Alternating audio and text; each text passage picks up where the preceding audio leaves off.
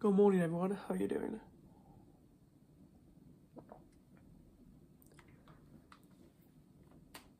I'm sorry that I haven't uploaded, I think, for some time. I think I'm going to scrap the upload schedule and just upload whenever because I need the creativity and the um, I need the uh, inspiration to upload. I've only just woken up. I'm sorry.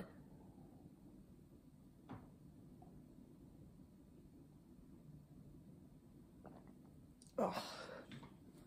And I thought I'd do something quite interesting and different, inspired by one of my favorite ever ASMR videos,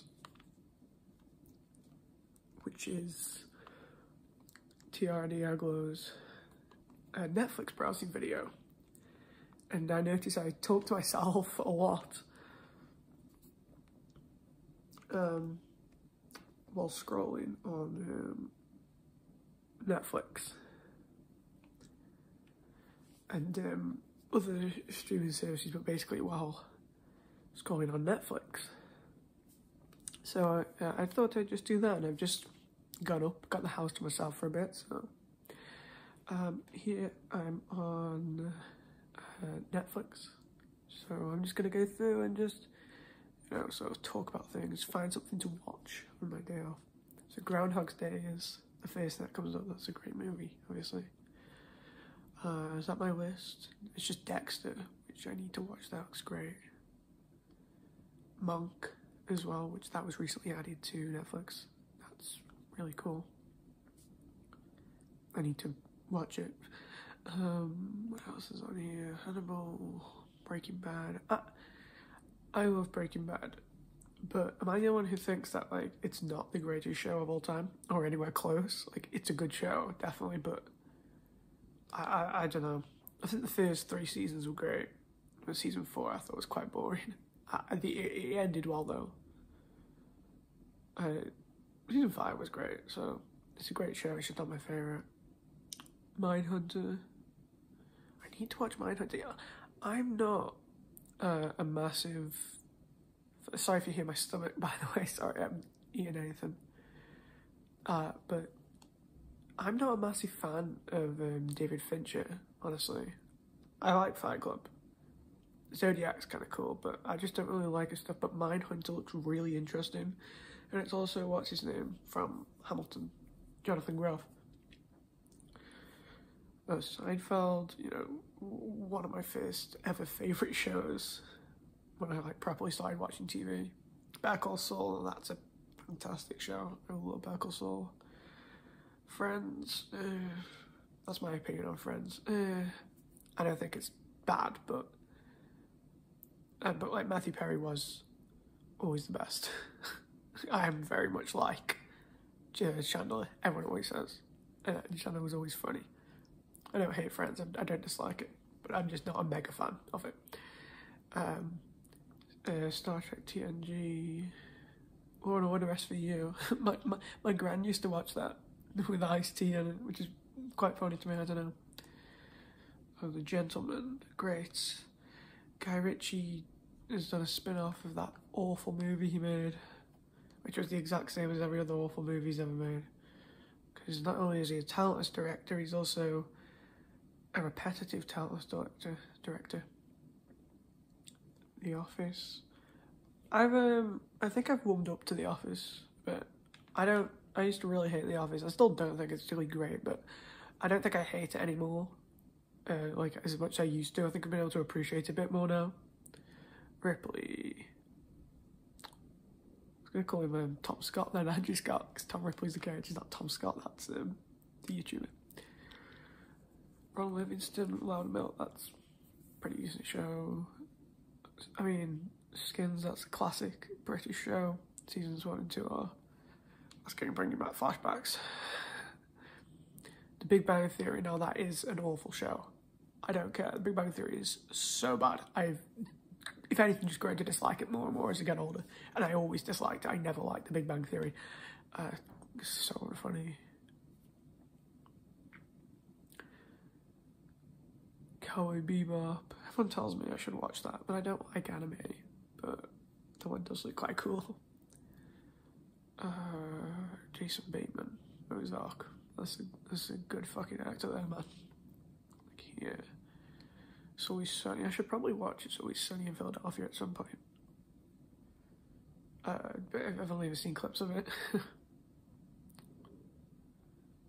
Jeez, I should probably eat something. My stomach's rumbling. You probably can't. Ty doesn't pick it up from there. Gilmore Girls, that's a classic. Narcos. Theme song for that show is so good. Young Sheldon.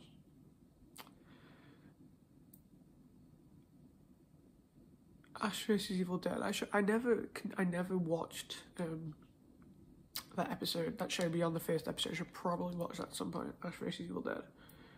Just um, I love those movies. Taskmaster. You know, I don't I don't really get that show, honestly. Like I get it, I know what it is, and I've watched it, but it's funny, but I don't think it's like people act like it's the funniest thing ever. I just don't get that at all. I think a lot of it uh, comes down to Americans as well, who've never seen anything like it because you know our TV shows are probably quite different. Speaking of another good show I've never got, why everyone thinks it's so great. There's also Peep Show here, which is funny, but it's not the best thing ever. Superstore featuring no Oscar nominee, America Ferrera. That show's a classic. Yeah. I mean, most of these are things I never would watch in a million years, like The Crown. I don't have any interest in it. I don't like the royal family. Never liked the royal family. I especially don't have enough interest to watch a damn show about them.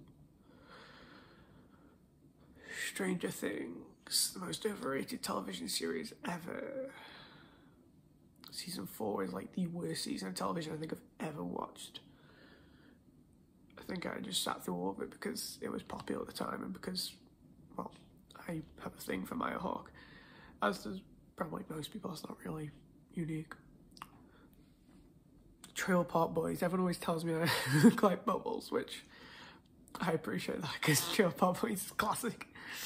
Um, someone once told me I look like the three guys all stitched together I, I, I, appreciate that. I, I, can see that, to be honest. I, I do get that. Rick and Morty, that's another overrated show. The End of the Fucking World. I remember when that came out. It was like a big thing, and I've never heard anybody talk about it since it came out. But Graham Coxon did the music for it, so maybe it's decent. Evangelion, no thank you. I'm gonna go down here. So my list. Have I got on my list? Dexter, Mindhunter, Le Depart. See, here's the thing I don't like about Netflix is the fact that like their movies are always super basic, but then like, they'll have this random French movie from the late '60s with Jean-Pierre Léaud in it. So I've got that on my list. Sort of thing you see on the Criterion Channel. Oh yeah, Batman Animated Series is on Netflix now which is great. Uh, Red Rocket, I've been meaning to watch that. I've never actually watched the Sean Baker film. I just know it was like his Letterboxd reviews, but I know um, Ivy Walk's gonna be in his next movie, so. Um, top secret UFO projects declassified.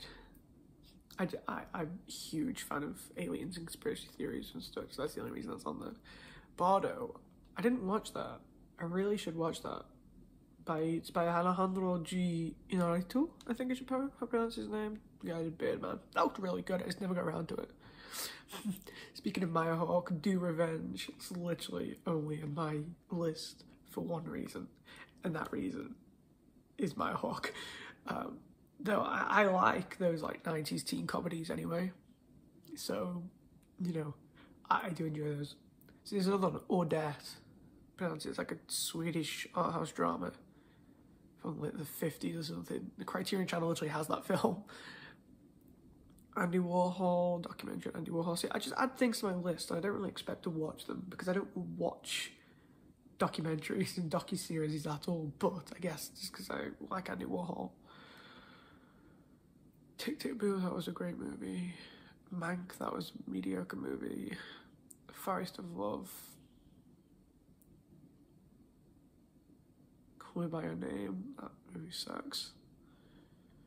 Uncut Gems, I still haven't watched that movie. What Did Jack Do with David Lynch, that was classic. Some reason Jaws is on my list. It'll be fun to watch in the summertime. Superbad. Classic. Marriage Story, I've never got around to watching Marriage Story, but I'm not particularly a fan of Noah Baumbach. I like his early movies, that's about it. American Gangster. Jeez, these are all going back. These are like things I added to my list like five years ago. Good Will Hunting, Pulp Fiction. That's probably come on and off Netflix like 10 times between when I actually first put it on when uh, I've also had to mute my TV because you can't hide on Netflix anymore. It plays a preview before everything, which is so annoying. You got Dune on here. That'll be interesting for people who want to watch Dune. However, I don't want to watch Dune. Um, we got Top Gun Maverick. That was a great movie. I watched Top Gun Maverick in cinemas. That was fantastic. Great movie. We got Baby Driver. I hate that movie. Rush Hour. That's a classic. Here, I need to watch Here. Still haven't watched that film. We got the Mexican. Brad Pitt and Jimmy Gandolfini.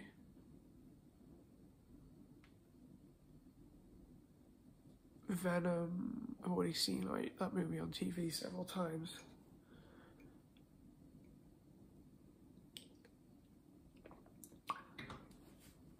And that was enough for me. Quick and the Dead, is that Gene Hackman in that one? Yeah. Oh, that was Sam Raimi. Sam Raimi did that movie. I had no idea. Rebel Moon. Even Snyder fanboys like that movie.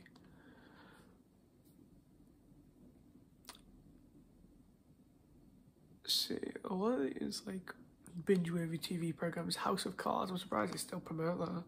Yeah, it says underneath starring Golden Globe Award winner Robin Wright. Nobody watched that show for Robin Wright. They watched that for the one, the only, Kate Spacey. Who is not a good person, of course, but that's why. But you can't pretend that Kevin Spacey isn't a really good actor. David Duchovny show there, Aquarius. Well, I love David Duchovny. I'm not straight, but like, if I was, I'd still be gay for David Duchovny. Netflix doesn't really have much on there. 13 Reasons Why. that was a terrible show. I watched all of it. It was really funny though. Thrillers, Talented Mr. Ripley, Copland, whatever that is, with De Niro, and Sly Stallone, and Keitel, Liotta. Yeah, Michael Rapaport in it, no thanks. Um, Reptile. Yeah, that was um, quite popular. And it has Alicia Silverstone in, it, which is really interesting. It also has Sky Ferreira in it. I'm pretty sure the guy who directed it did like the Everything's Embarrassing music video, I think, or something. The Guest, I need, I'm gonna add that to my list. I need to watch The Guest with Dan Stevens. It's my list. Red Eye. That's a great movie. Cillian Murphy. Primal Fear. That's one of Richard Gere's best. And also, yeah, it's brilliant in that movie. Layer Cake. It's basically like a better version of the movie Guy Ritchie's been trying to make his entire career. Donnie Brasco, Pacino.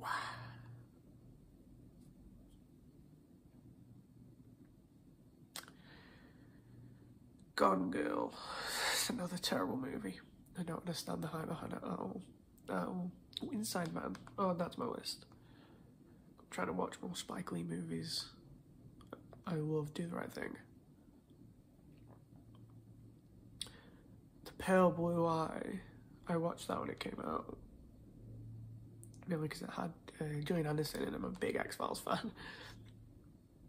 Red State, isn't that Kevin Smith?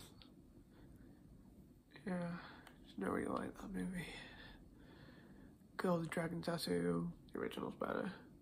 Daniel Craig's great in that. Um, it's got the new Scream on here. which there's this like a, a, sequel. I had no idea there was a Scream Six. I, I did not know there was a Scream Six till the other day when I read there was going to be a Scream Seven. I was like, what? They made a Scream Six? Um, Star Trek, the original Star Trek. That's a great, great show. Original Star Trek still holds up so well, I think. King Richard. Uh, this uh, Wilson's first Oscar win completely overshadowed by something else which occurred that night. Awakenings. It's got uh, Felicity Hoffman, I'm pretty sure he's in that movie. I think. Am I thinking of um? Oh, the other one, Robin Williams, where he's a doctor.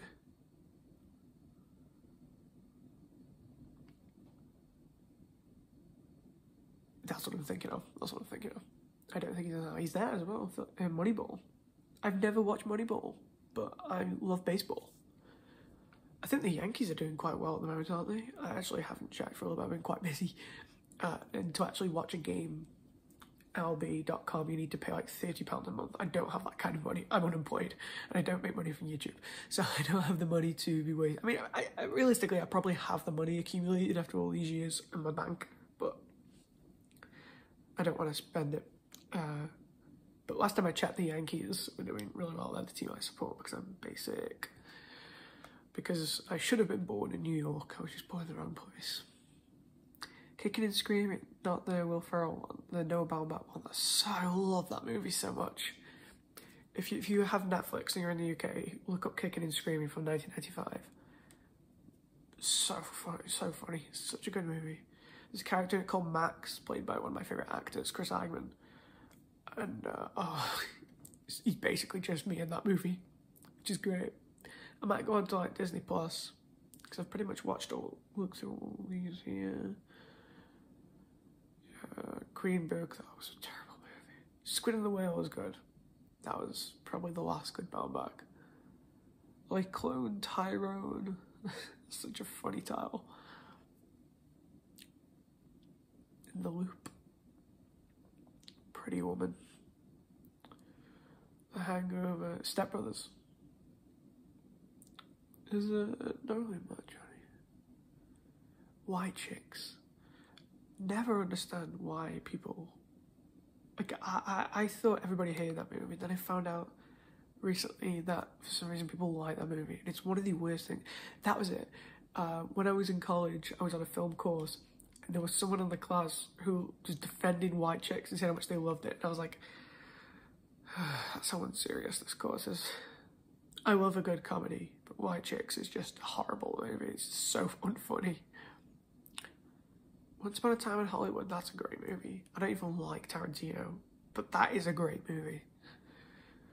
The Big Short, Four Lions, that's a great film.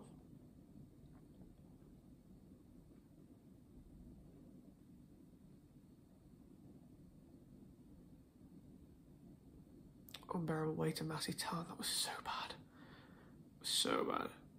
Human Traffic. That's a great British film. That's one of the few good movies we've made in like the last 30 years. definitely recommend that. Ghostbusters is a classic. I'm um, gonna go on to Disney Plus now. Here we go, this is uh, Disney Plus.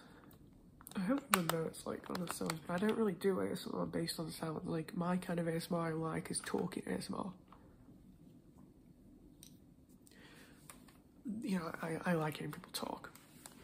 My Disney Plus profile is called Gonzo and it's got a picture of Gonzo from the Muppets on it. It used to be something else, but I can't remember what it was. Tracker. What's that? Wait, that's that's Green Arrow. That's Green Arrow from Smallville. It's Justin Hartley. That's cool. Glad he still gets work. X-Men, the 97 cartoon. This is Disney now, so. Desperate Housewives, Malcolm in the Middle. These are all some bangers right here. Taylor Swift, the Eras Tour, Taylor's version.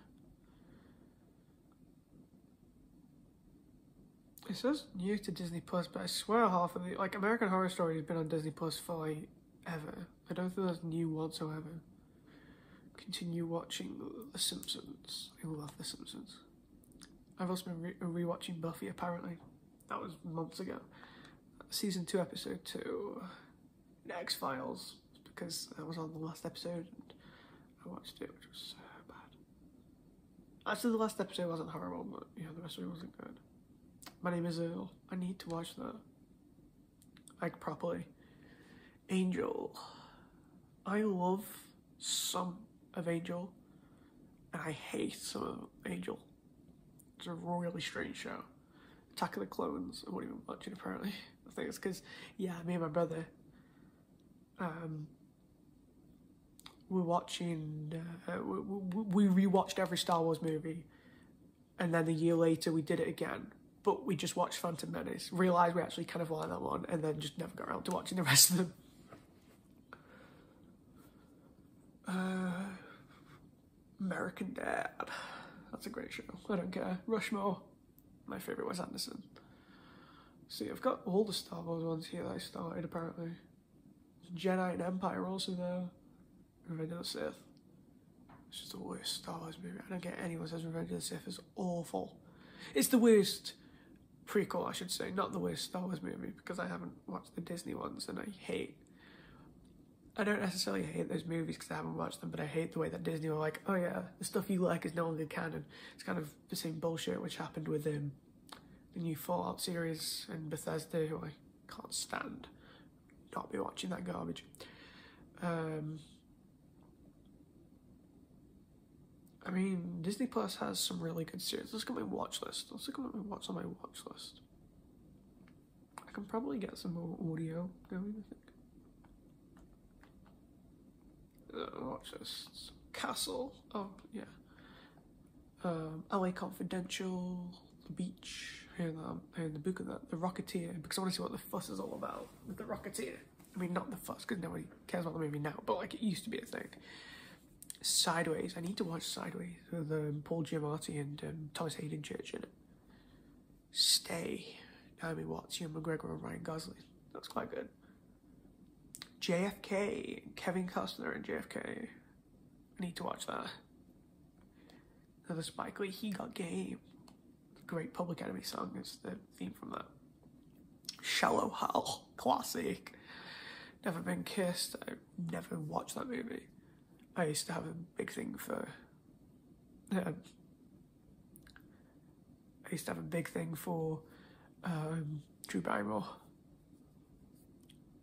Romy and Michelle's high school reunion. I need to watch that. I haven't. I need to watch that movie. Good Morning Vietnam, Thin Red Line. Thin Red Line's not very good. I've watched, I've watched bits of it on TV and it's so boring. Days of Heaven is um, Alex Best. Firefly, I say. Summer of Sam and the Spike Lee. I need to watch that. Michael Imperioli uh, wrote that. Co-wrote it. Christopher. Christopher.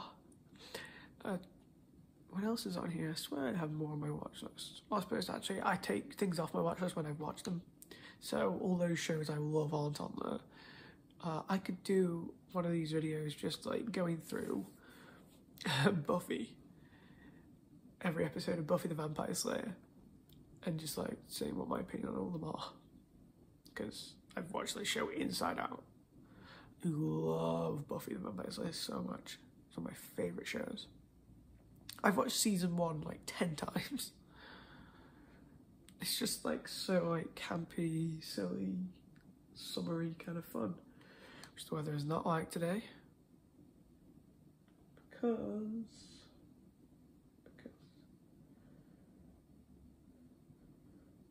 it's uh all raining.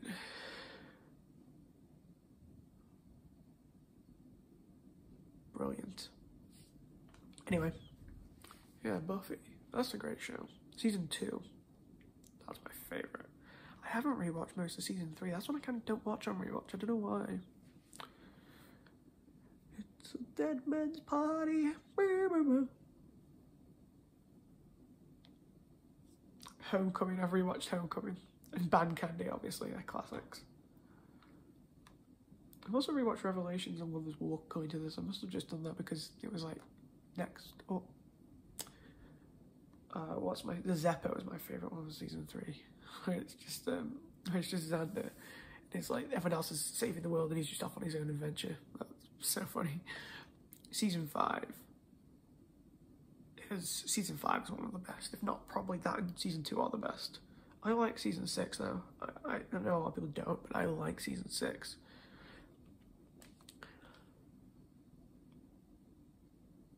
This is a pretty, pretty good season. I, I still don't get that hate about this season.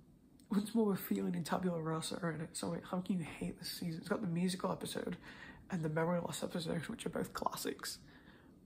Gone's good as well, where Buffy goes invisible. That's a great episode. Um, yeah, these ones are all watched because I think I actually watched the show on, from this point onwards on Disney Plus. Seeing Red. If you're not a Buffy fan, you won't know. Um, if you know, you know. I don't actually hate that episode. I actually quite think the episode's really genius in a way. Though there's one scene which absolutely should have been rewritten. And if you know the episode, you know the scene I'm talking about. I think that is completely unnecessarily too far. But if you tip besides that, it's a great episode around it. It's just that one scene. But I don't think that's worthy of bringing out the whole episode. Also, people like love to criticize. Um, people love to say stuff like it's Joss Whedon being misogynistic, even though it wasn't written by Joss Whedon, so I don't understand that. And I'm pretty sure during season six, wasn't he like preoccupied with Firefly and Angel? Like that is the season he had the least involvement with. It's literally Steven. DeKnight who wrote that. So take it up with Steven. DeKnight. Joss Whedon has many, many shortcomings, but he didn't write that episode. I mean, I like season seven. Same time, same place. That's a great episode. With Gnarl, like this grumbling creature. It's really good. I think him is also really funny. The Love Spell episode, that's funny. Not as good as the Love Spell episode with Xander. Um, I mean, there's a lot of good episodes that season. I don't really get the hate. Season 4 is absolutely the worst season of Buffy. Most of these episodes are just totally whatever. The Harsh Light, that's a good one. That, that's one of my favourites that season. Fear itself is good as well.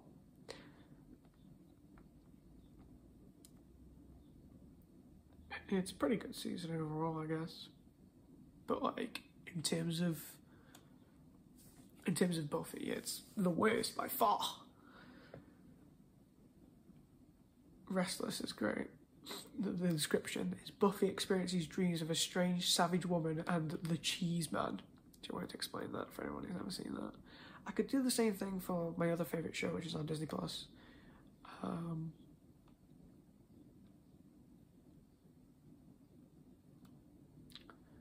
the X Files, of course.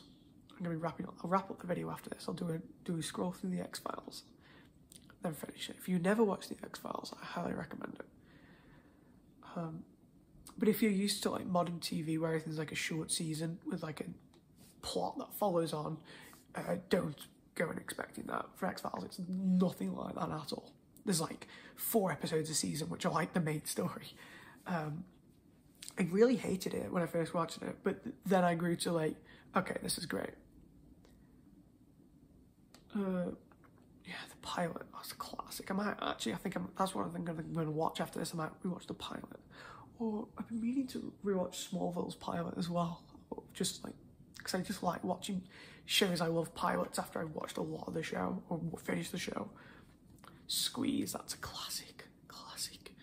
Mulder and Scully search for a humanoid killer with savage murder spree. So this guy can crawl. If you like tight spaces, that's one of my favourite episodes. Conduit, that's great. The Jersey Devil, that's a good episode. Shadows, Ghost in the Machine. Ice, Ice is fantastic. Where a scientist at a remote Alaskan outpost are killed by an alien parasite. It's like the thing. It's so good. I mean, Gender is honestly not horrible. I don't hate that one.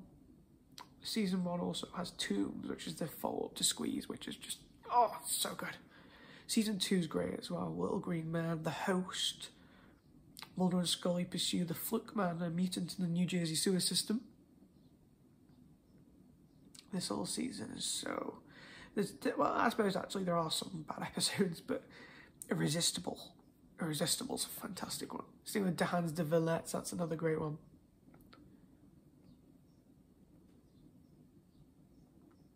Season 3 is my favourite of The X-Files. You've got DPO, Jack Black's in that one. Clyde Bruckman's Final Repose. Too Shy. Too Shy Shy. That's a great one. A mutant who targets overweight women feeds on the fat of his victims. That's a great episode. I also love um, the one where he's on the train. is great too. But which is the one? War of the Copper Coprophages. The agents discover that killer cockroaches may actually be alien robots. That's one of the best episodes. Syzygy's great too. The agents must find what's causing teenage girls to commit murder. It's like about astrology and stuff. It's a really good one. It's basically Chris Carter doing a Darin Morgan episode. Um, Pusher is another great one where it's the killer who like tells people to do things and they do it. Where's my favorite? Here's my favorite episode of the show. Jose Chung's Outer Space. Mulder and Scully probe a government cover-up of a UFO abduction. Season 3, Episode 20. It's the best episode of the show. It's so good. Charles Nelson Reilly is so good in that episode. I won't say anything about it because, but I'd highly recommend if you're going to watch one episode of The X-Files, absolutely watch that one. Home, that's a, that's the very controversial one. That, that's be like censored or something. I just think it was added like a warning. That's a great episode.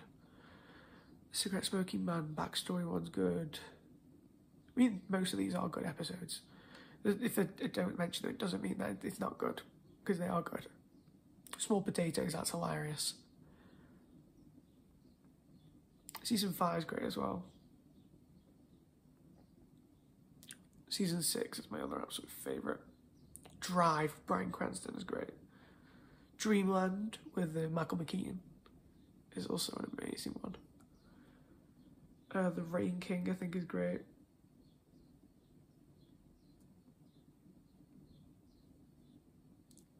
Aguamala, that's a really fun episode.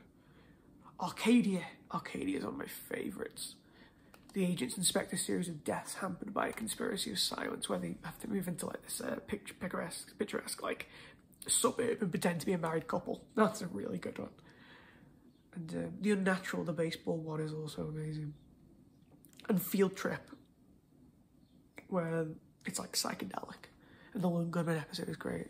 Season 7 is good, but like I don't love it. Hungry is great.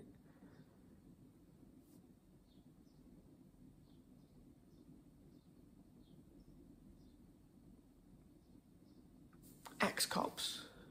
X Cops is really great. X Cops is great.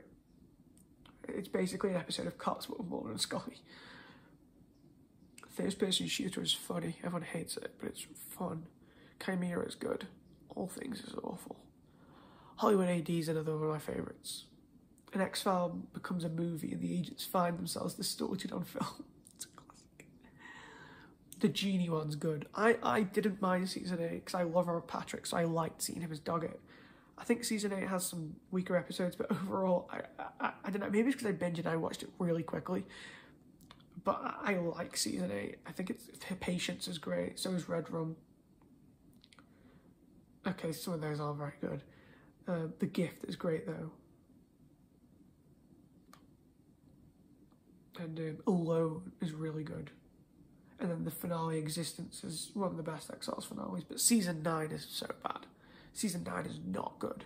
starts out okay, but the revival was okay as well. It was a horribly Islamophobic episode, but besides that, the first season's okay for the most part. Mulder's make the were monster is hilarious. Season 11. Season 11 had a Familiar, which was a really scary one. And there's one where the Mulder's Scully up against like artificial intelligence, which is pretty funny. Then there's a Mandela Effect episode as well. So I think I'm going to rewatch the X-Files pilot. Thank you for joining me on this adventure to find something to watch. Uh, it's a longer video and I'm not going to be posting it on the day I usually post, but I hope you're accommodating with that because I'm still learning and I promise I'll do that. So, um, yeah. Uh, stay beautiful and I'm going to watch the X-Files.